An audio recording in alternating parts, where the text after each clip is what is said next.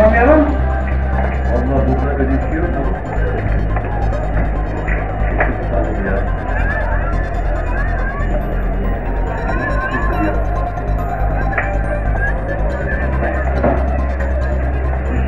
Hala sorun ya.